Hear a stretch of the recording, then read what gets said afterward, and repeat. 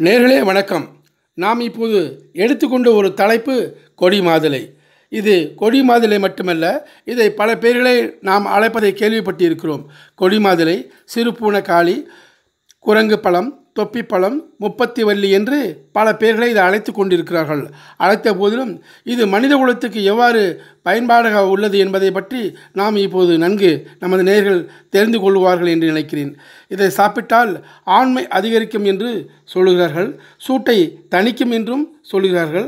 உடம்பில் உள்ள தீய செல்களை அழிக்கும் நல்ல செல் செல்களை வளர்க்கும் என்றும் இதை சொல்கிறார்கள். பெண்களுக்கு கர்ப்பப்பை சூட்டை தணிக்கும் என்றும் சொல்லுகிறார்கள்.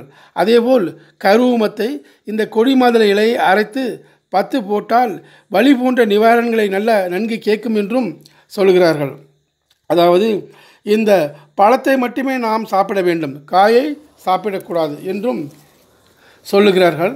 அதேபோல் கல்யாணி முருங்கை இலை மற்றும் இந்த கொடி மாதுளை இலையை போட்டு நன்கு கொதிக்க வைத்து நாட்டு சர்க்கரை போட்டு நாம் குடித்து வந்தால் நல்ல உடம்பிற்கு நல்லது என்று சொல்லுகிறார்கள்.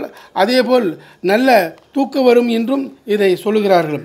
அதேபோல் இந்த வேரை இந்த கொடி மாதுளை வேரை கஷாயம் வைத்து குடித்து வந்தால் நன்கு இந்த வலிப்பு நோய் போன்றவகை போன்றவை சரியாகும் என்றும் இதை சொல்லப்படுகிறது. அதேபோல் இதை நாம் நன்கு இந்த பழத்தை வேரை அது குடித்து வந்தால் ஜீரண கோளாறு சரியாகும் என்றும் சொல்லப்படுகிறது.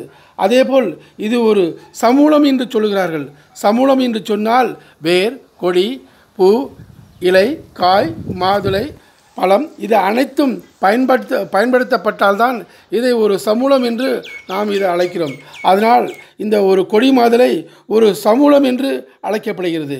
நேரிலே இந்த கொடி மாதிரி பயன்பாட்டை பற்றி நாம் நன்கு தெரிந்து கொண்டோம். நேரிலே இதை புரிந்து கொண்டு அறிந்து கொண்டு நீங்கள் நலமோடும் வளமோடும் வாழ வேண்டும் என்று சொல்லி நேரிலே நான் உங்களை மீண்டும் வேறு ஒரு நல்ல ஒரு தலைப்பில் சந்திக்கிறேன். நன்றி வணக்கம்.